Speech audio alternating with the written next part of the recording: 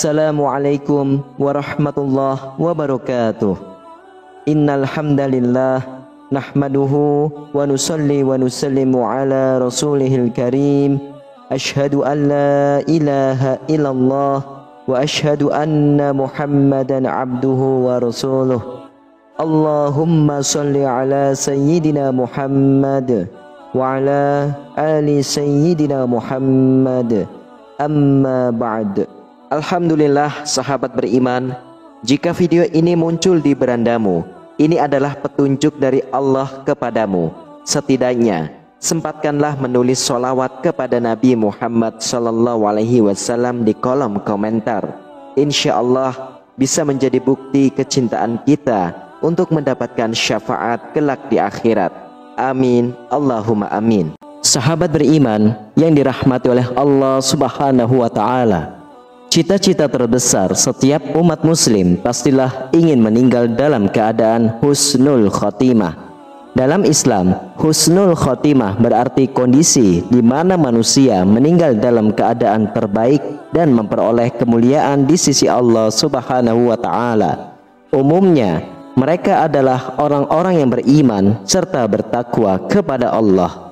Kehidupan dalam kubur memang rahasia Allah Azza wa Jalla tidak ada seorang pun yang dapat mengetahuinya. Namun, kita bisa melihat dari cara manusia itu meninggal dunia. Orang-orang baik akan meninggal dalam keadaan baik, yaitu husnul khotimah dan dijauhkan dari azab kubur. Sedangkan orang-orang yang buruk meninggal secara buruk, yaitu su'ul khotimah. Na'udzubillah. Sahabat beriman Berikut ini adalah beberapa tanda-tanda meninggal husnul khotimah berdasarkan dalil-dalil Al-Quran dan hadis. Namun, alangkah baiknya para sahabat beriman untuk menyimak terus video ini sampai akhir agar sahabat bisa mendapatkan informasi yang utuh supaya tidak gagal faham dan menjadi penambahnya ilmu dan pengetahuan. Yang pertama adalah orang yang meninggal dengan mengucapkan kalimat syahadat La ilaha illallah. Rasulullah sallallahu alaihi wasallam bersabda Barang siapa yang akhir perkataannya adalah La ilaha illallah Maka dia akan masuk surga. Hadis riwayah Imam Abu Dawud. Lalu yang kedua adalah Orang yang meninggal pada malam Jumat atau hari Jumat. Rasulullah sallallahu alaihi wasallam bersabda Tidaklah seorang muslim meninggal dunia di hari Jumat atau pada malam Jumat kecuali Allah akan menjaganya dari fitnah kubur. Hadis riwayah Imam Ahmad dan Imam Tirmizi. Lalu yang ketiga adalah orang yang meninggal dengan keringat di dahi. Dari Ibnu Buraidah dari ayahnya bahwa ia berada di Kurasan. Ia menjenguk saudaranya yang sakit ia menemuinya tengah sekarat dan dahinya berkeringat. Ia berkata, Allahu Akbar.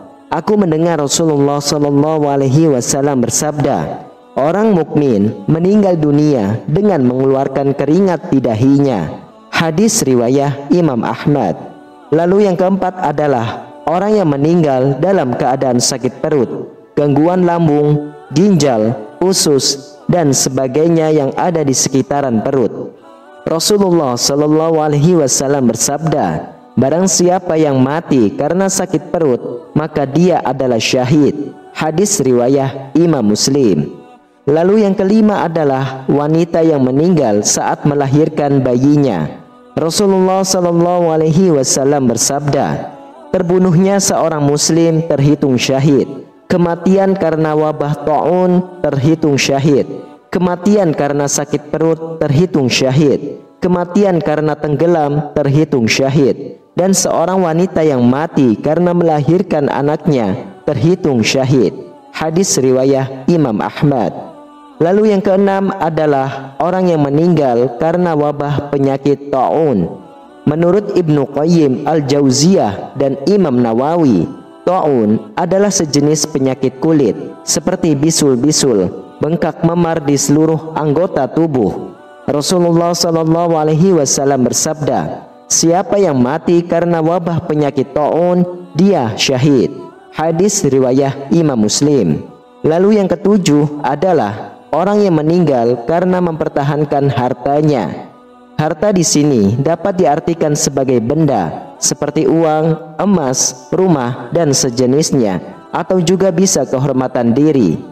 Dari Abu Hurairah radhiyallahu anhu meriwayatkan, datang seorang laki-laki kepada Rasulullah sallallahu alaihi wasallam dan bertanya, "Wahai Rasulullah, bagaimana kalau ada seseorang yang hendak mengambil hartaku?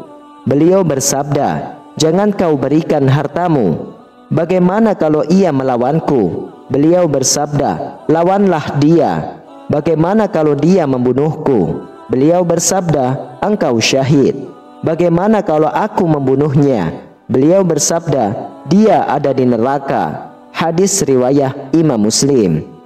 Lalu yang kedelapan adalah orang yang meninggal karena mempertahankan keluarganya. Nabi Muhammad wasallam bersabda, Barang siapa yang terbunuh karena mempertahankan hartanya, maka dia syahid. Barang siapa yang terbunuh karena mempertahankan agamanya, maka dia syahid.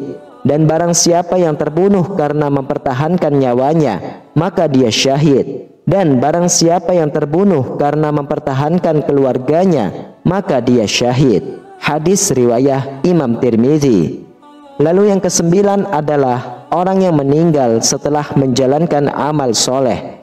Seorang yang meninggal saat melakukan amal soleh seperti bersedekah, puasa, sholat, haji, dan ibadah yang lain tergolong dalam meninggal husnul khotimah. Rasulullah Shallallahu Alaihi Wasallam bersabda, Barang siapa yang mengucapkan La ilaha illallah Mengharapkan Allah Lalu wafat setelah mengucapkannya Maka dia masuk surga Barang siapa berpuasa satu hari mengharapkan wajah Allah Lalu wafat ketika mengerjakannya Maka dia masuk surga Barang siapa yang bersedekah dengan satu sedekah Mengharapkan wajah Allah Lalu wafat ketika mengerjakannya Maka dia masuk surga Lalu yang kesepuluh adalah orang yang meninggal dengan pujian.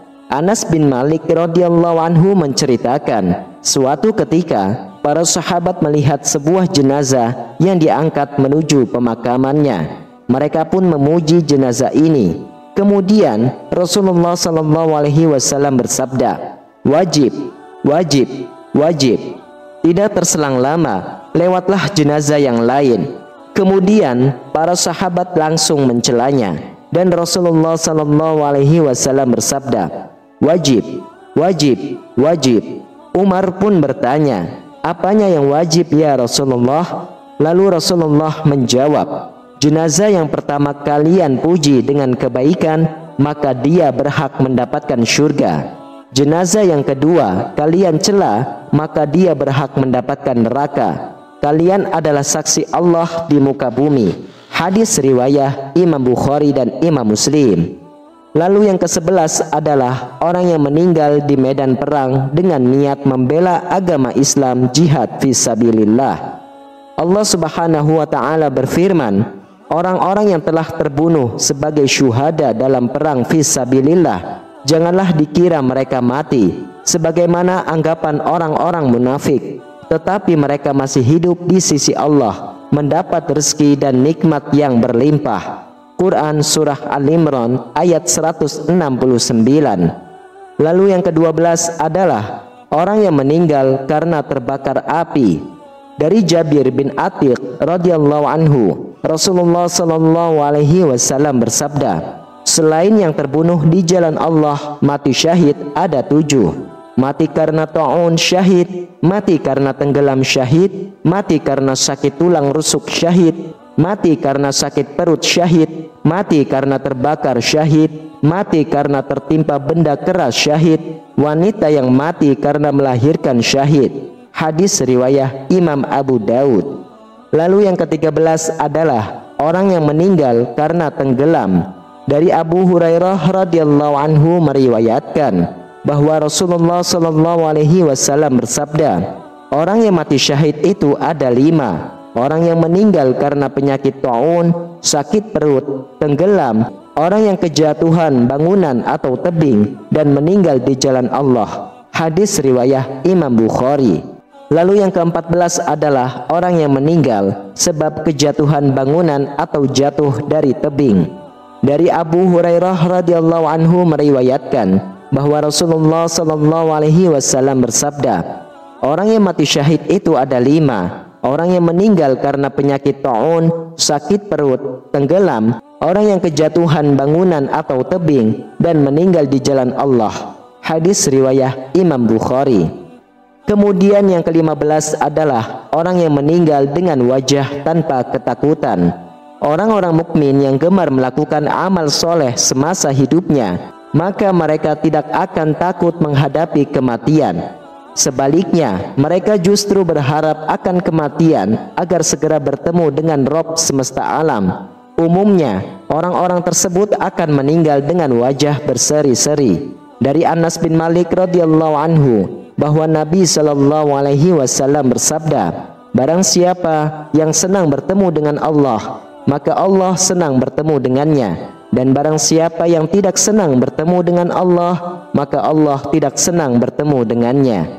Wallahu a'lam bissawab. Sahabat beriman, itulah 15 ciri-ciri orang meninggal dalam keadaan husnul khotimah. Semoga kita semua kelak meninggal dalam keadaan yang baik yaitu meninggal husnul khotimah. Amin amin ya rabbal alamin. Demikianlah hanya ini yang bisa saya bagikan dan sampaikan. Semoga bermanfaat untuk kita semua. Wassalamualaikum warahmatullahi wabarakatuh.